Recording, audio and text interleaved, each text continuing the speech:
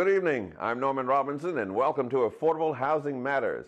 An important question one may ask when looking to move into a new residence is how safe is this community? On tonight's show, we will find out what the New Orleans Police and Justice Foundation is doing to provide safety on these volatile New Orleans streets. And later in the program, we will speak with the executive director of an organization that is engaging our local youth for the betterment of the New Orleans community. We have a great show planned for you this evening, so don't go far. Good game plan is the key to success. When my team hits the field, we always have a game plan. You should take the same approach with emergency planning. That's why Coach O and I urge you to get a game plan to make sure you, your family, and your pets are safe this hurricane season. Visit GOHSEP's GetAGamePlan.org and download the new and improved Get a Game Plan app for important emergency planning information and tools to keep you safe. Take advantage of the time you have before an emergency. Finalize your plans. Have three days worth of supplies and other essentials in your emergency supply kit. Contact your parish OEP office if you have medical or transportation issues that will make it difficult to evacuate. You play an important role in making our emergency plans work. Take the time to learn your responsibilities. Like I always say, One team, one heartbeat. The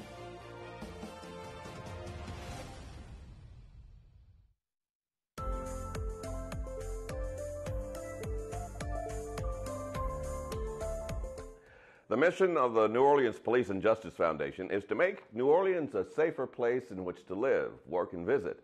Joining me now to discuss their plan for safety is Ms. Melanie Talia, President and CEO of the New Orleans Police and Justice Foundation. Good evening and welcome to Affordable Housing Matters. Good evening, Norman. It's good to see you. It's always nice to see you. So tell me, what's up with um, the um, New Orleans um, uh, Police and Justice Foundation? What's what's on your radar? We have a lot going on right now, but our primary focus, the top two priorities, are security cameras and recruiting for the New Orleans Police Department to increase the number of officers, the number of boots on the ground. Let's talk about security cameras. Sure. Um, how does that work, and who should be involved, and um, what's the process? All right. Well, uh, we have four programs that are all working together. The first one that launched is SafeCam NOLA. S A F E C A M N O L A. SafeCam mm-hmm. NOLA, and that is a database. SafeCamNOLA.com. It's free. It's quick. It's easy. If you have a security camera on your home or on your business, we mm-hmm. want you to register your camera at SafeCamNOLA.com. Okay. That registry, think of it as a filing cabinet. Mm-hmm. That registry is maintained by the New Orleans Police Department. They don't have access to your camera. If something happens in your neighborhood, the officers can go to their computer, put in that address with a vicinity, and then every camera registered in the area will come up. Otherwise, what happens is officers are either on foot mm-hmm. or in their cars, patrolling, walking, looking under overhangs, trying to find cameras in any given neighborhood. So it really helps to speed up an investigation and to capture someone who has done some wrong. But the flip side is also true. It helps to exclude people who may be considered a suspect and, in fact, have not done anything wrong. Now, suppose I'm I'm a homeowner and I'm listening to you describe this this uh, Safe Cam NOLA project, and I don't have a camera. What what do I do now? I want a camera. How do I go about that? So if you have the means, you can any camera can be installed upon your home and registered with the SafeCam NOLA database. At the New Orleans Police and Justice Foundation, we launched a companion program which we call Adopt a Block. Ah. And with private funds, we are able to install security cameras in crime hotspot neighborhoods, uh, in neighborhoods that sometimes otherwise might not have a camera. And that w- with those private monies, we have um, installed about 300 security cameras across the greater New Orleans area, and all of those cameras are registered with the New Orleans Police Department and SafeCam NOLA. So I would have to live in a what's considered a hot spot to be eligible for that uh, a, a, Adopt a Block program? Our Adopt a Block program focuses on high crime hotspots. Mm-hmm. Uh, when we have private funding available, we basically put out a shout out to the community and say, hey, if you're willing to host a camera, and if something happens and you have footage on that camera, and you're willing to help the police department, you're willing to join that fight against crime, we will put that camera on your home and it's not going to cost you anything. So, who's monitoring this, this system and, um, and how current is it? When SafeCam NOLA database was built, and when we started the process of installing security cameras with private funds, there was not yet the monitoring in place that we have today. Mm-hmm. Uh, I think everybody knows the city has been installing cameras all across the, uh, the, the, the in, uh, all across the eight police districts. Um, they're rather large and they've got yeah. flashing lights. And those cameras, those cameras are monitored, and they are monitored by staff who are at the camera center 24 7. The cameras are uh, integrated with the police department's 911 center. So as soon as an incident is initiated at the 911 center, an alert goes off at the camera center, and those monitors, those technicians, can immediately go to that camera and look for footage that could be critical to solving a crime, to making an arrest, and again, to excluding someone who perhaps ought not be a suspect. So this is happening in real time? This is happening in real time. And over the years, we can probably all think of an incident where someone was the victim of a crime and it took it took a very long time to solve that crime or or maybe there were very few security cameras at that point in the game but officers were able to put together the sequence of events that led up to a horrible incident and that led them to ultimately the arrest and the conviction of the perpetrator with this real time opportunity, that time becomes so much shorter. And it's, it certainly is, I think, better for the community mm-hmm. if someone has done something bad to get them off the street quickly. But it's also better for the victim's family. If you don't know where your loved one is or you don't know what has happened, to struggle with that for weeks, months, and perhaps longer is just horribly difficult. If that can be brought to closure sooner, there's still great pain, but I think it, it, it's easier on the family. No question about it. And is this a sustainable program? Um, when we think of, of, of um, projects in the city of New Orleans, uh, the, the question often comes to mind is, well, is it going to be here no matter what administration is in office? This is a sustainable program. The Camera Center is located on Rampart Street. It is an amazing technological feat. Probably at this point, the premier real time crime center in the country. And you, if you research, you'll find that there are others. And when we were building ours, we traveled to other crime centers to see what they had going on and to learn from their lessons and their mistakes. This is absolutely a sustainable project. The next piece of it, however, is to incorporate the private security cameras. We will uh, soon launch. How do you, how do you do that? That, that seems like um, an, an, a monumental uh, project when you're talking about merging public and private um, pieces together. I think there was a point in time when it would have been a monumental project. But mm-hmm. in this day and age of technology, it's easier than we think. So we will soon launch, working with Homeland Security and the Real Time Crime Center, what we have dubbed SafeCam Platinum. Ah. SafeCam Platinum is seeking private security camera providers, whether you are a resident or a business, to have a camera on your home or business. Now, those cameras will have to be compatible with the real time crime center technology, and we are still working some of these things through. So the program is not rolled out yet, keep, okay. Keep, stay tuned. Stay, stay tuned. But the concept is your footage from your private security camera will go into the same cloud as the footage from the city's security cameras. Mm-hmm. And just as happens now, if there is an event or an incident mm-hmm. generated at the 911 center, the technicians at the crime center will get an alert. They can immediately pull the footage from that camera.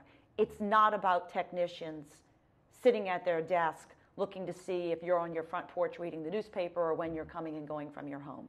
That's not at all. So we're not talking Big Brother here, somebody spying on you. We're- No, no. They are monitoring the cameras as mm-hmm. soon as an incident is created at the 911 center. Mm-hmm. And there are, unfortunately, more than too many incidents that are created.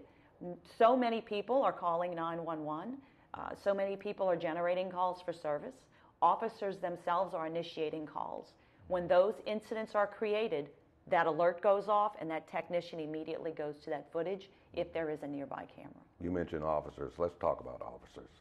Um, are, are we still at a low point in terms of the number of, of uh, personnel, uh, law enforcement personnel needed to uh, effectuate public safety in the greater New Orleans area? Right now, we're at 1,206.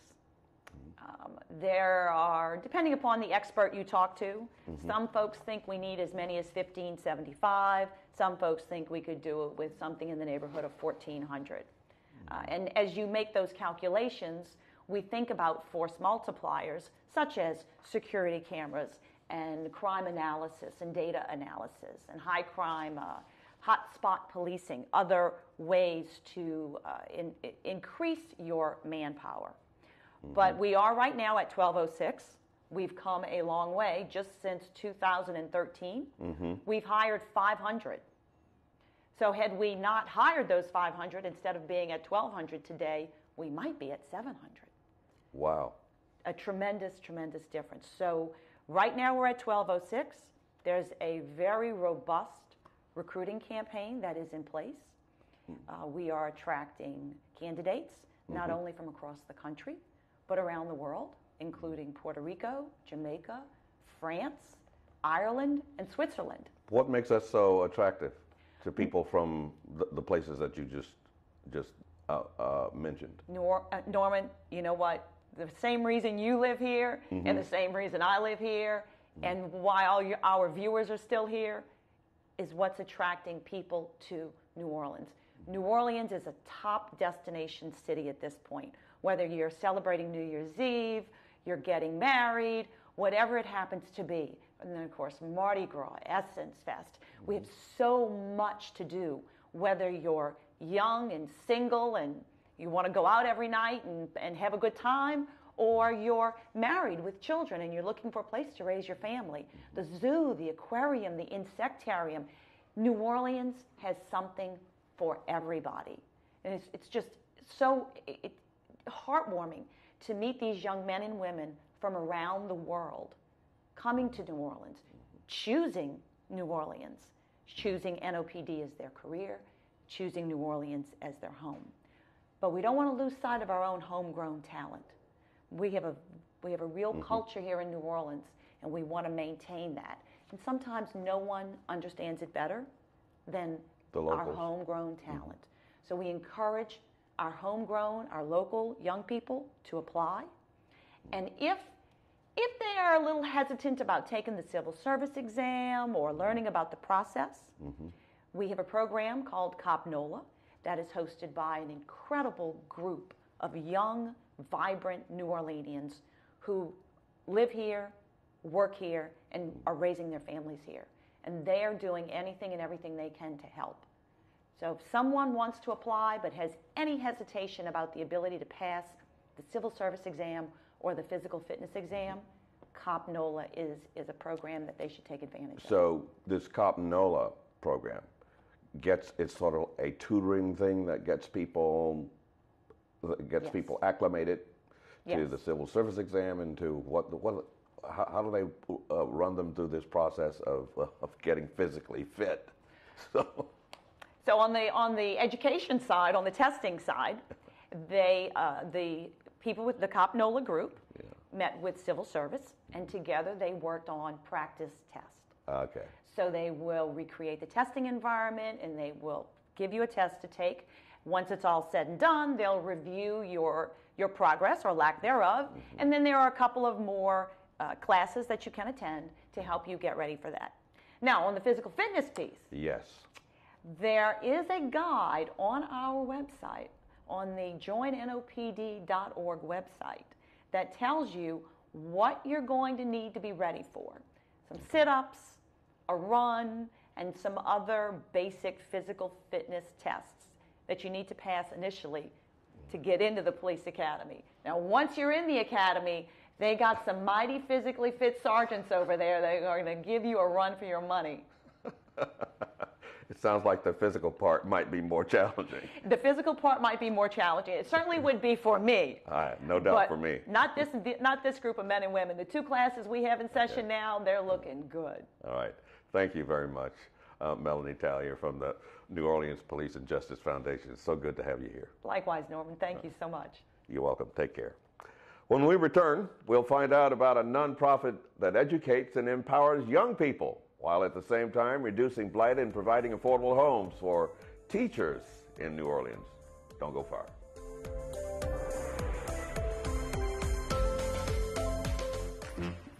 Around here, we ride a lot of different things. A lot. Maybe it's because we know it's not just where you're going that counts, but also how you get there. That's why we have Blue Bikes, a simple and affordable bike share program just for our city. And if it's been a while since you've ridden a bike, don't worry. It'll come back to you. It's just like, well, you know. Blue Bikes. Enjoy the ride.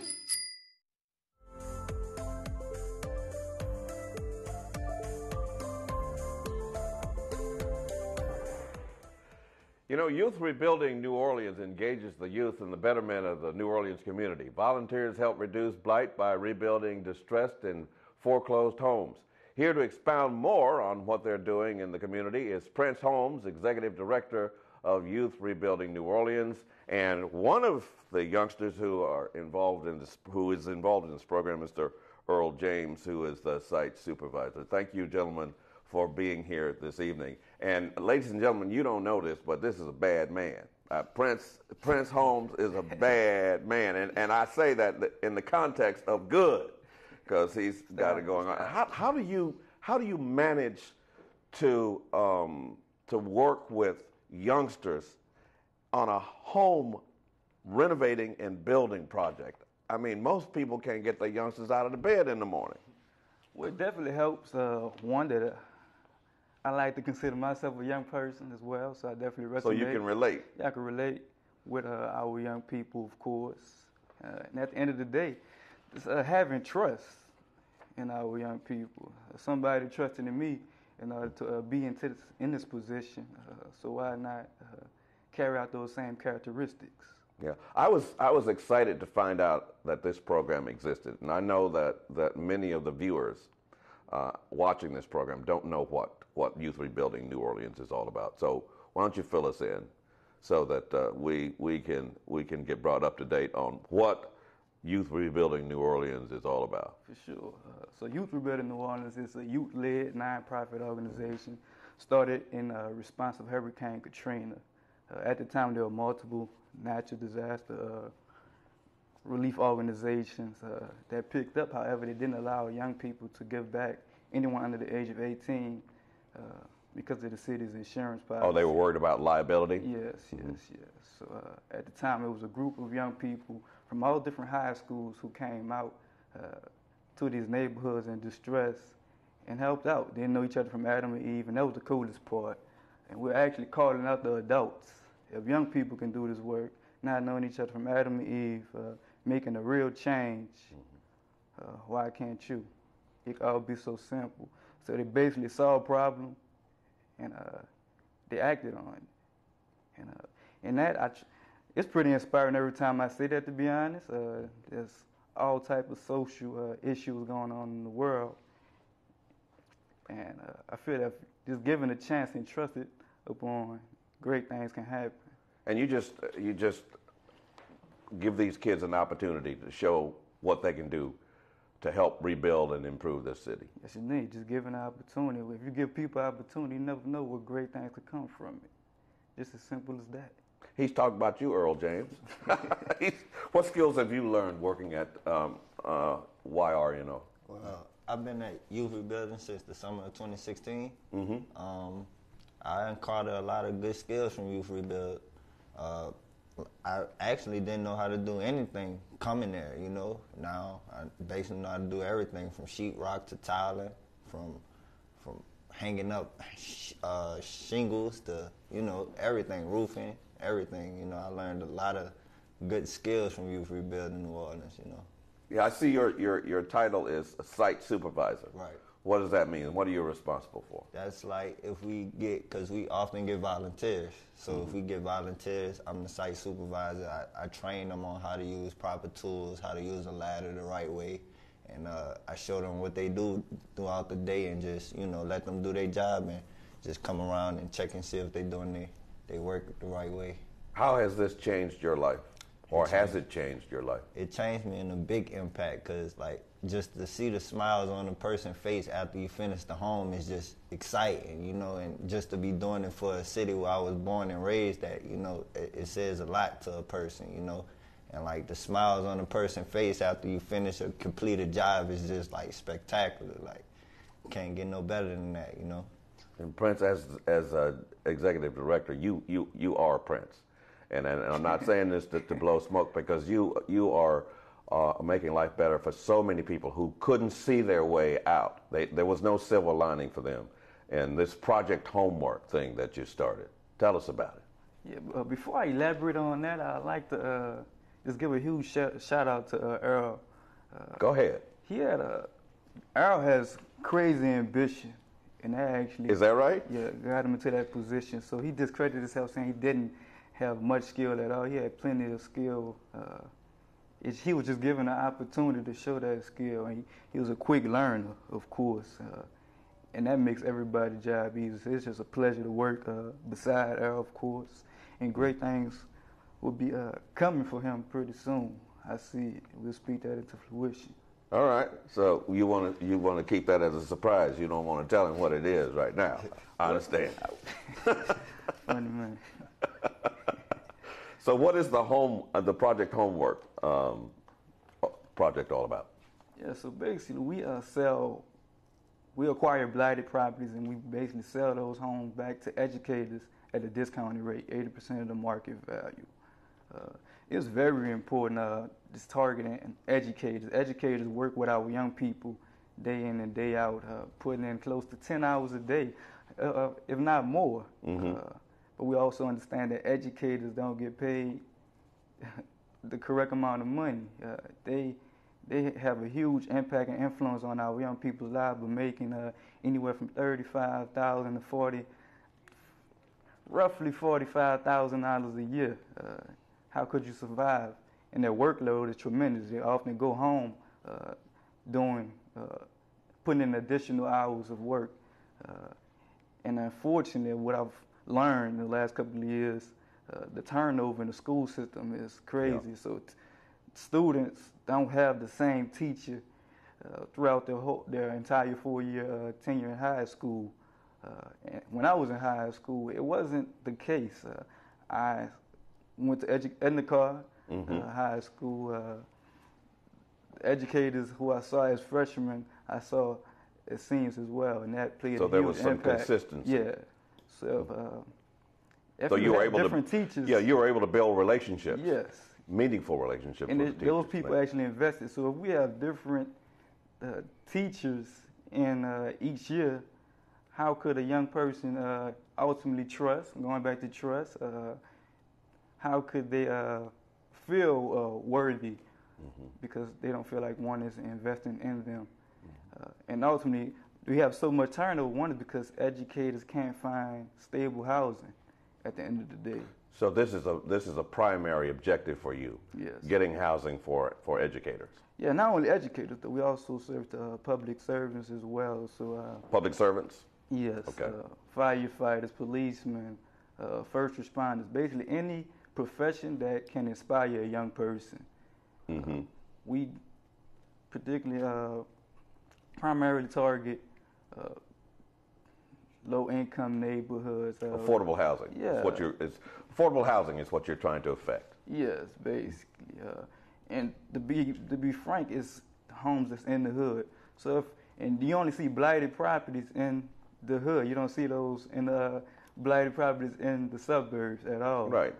We're talking about urban urban New Orleans. Urban New Orleans. So if a young person is growing up in a neighborhood full of blight, uh, it kind of depicts where their their future is going. Unfortunately, if you're seeing a drug paraphernalia in these blighted properties, uh, it often draws crime. It often uh, you see uh, early, as early as eight o'clock in the morning, people on the side uh, drinking alcohol. That plays a huge part into your subconscious. So if we can rebuild those homes and inspire, um, if we can rebuild those homes, it would inspire young people to be like those professions, those educators, those uh, firefighters, those policemen. At the end of the day, you're trying to change the culture. Trying to change the culture. In culture. other words, give people something positive to to to uh, to look up to. Yes, indeed. And, and by rebuilding these blighted properties, you are elevating the, the culture of the neighborhood. Yes, yes, Yeah. yes. How many how many blighted properties and homes have you been able to um, to, to renovate, to save? Yes, uh, so we're actually meeting the deadline today. We'll be closing on uh, our most recent project, and this will uh, mark number 19. 19? home. yes. Okay. And the deadline is is today, Yes, well uh, tonight, and and when you when are you going to closing, and and who is this particular house for? Yes, yes, yes. Uh, we, we'll be uh, closing September the 17th Uh-huh. for educated Miss. Uh, uh, I won't speak of her name. Well, of right course, that's yeah. private, that's personal. Yeah, uh, she's very appreciative. Uh, it's cool to uh, put her into this neighborhood in the Bayou St. John, of course. Bayou St. John neighborhood. Yeah, Bayou St. John. And uh, the great part is that we have a project uh, right next door that we'll be working on pretty soon. So you, you generally stay in, in one particular neighborhood and acquire as many houses as you can, rehabilitate those, move people in, and then target another area? Is that how that works? Yeah, for the, we're actually lucked up with this project. Uh, we've been in this neighborhood for the last four years, and we actually Really? bought uh, four properties uh, at once. Uh, I wouldn't recommend doing that in the future, of course, uh, because sometimes you can just uh, get Sometimes you big-eyed. can- It's, it's a lot. It's overwhelming. Uh, and I found that we weren't uh, completing homes uh, in a timely fashion because we had so many. So anytime we'll get over, we'll get uh, overwhelmed with the project, we'll just hop to the next compared to completing it and then turning that home around. But uh, of course, we like to stay in the neighborhood because, uh, for a certain amount of time. It brings we build relationship with the neighbors, with uh, the community, uh, and ultimately everyone wins at the end of the day. Well, you are a winner. Prince Holmes and Earl James, both of you are, are winners, and you're winning for the people of, of uh, the city of New Orleans. Thank you both for being here, and uh, we're excited to hear about your project and hope to have you back. Definitely appreciate you. You're welcome. We would again like to thank our guests for joining us this evening here on Affordable Housing Matters. On next month's show, we will talk to Entergy and discuss the new role they're playing in affordable housing. Also, the NOLA Lending Group will be with us to discuss more of their helpful lending options for you. Remember, if you would like to rewatch this or any other episodes of Affordable Housing Matters, please visit WLAE.com and click on the programming link. There you can view this and all of our past episodes of this program. I'd like to thank you for joining us this evening. I'm Norman Robinson. Have a good night.